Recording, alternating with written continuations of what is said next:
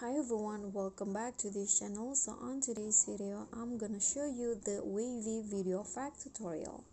So here uh, you can just import the video that you want to edit and go to the video effects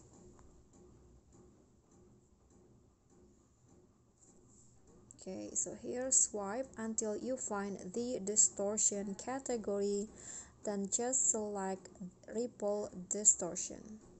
This one.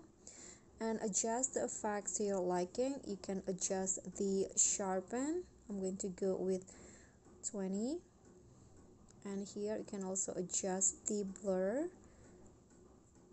The size.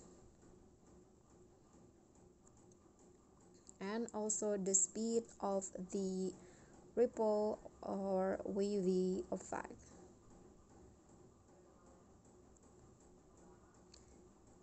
okay i'm going to go with 30 and also the intensity.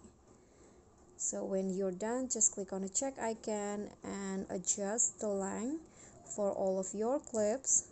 And here is the final result. Okay everyone so that's how you can create wavy effects to your video.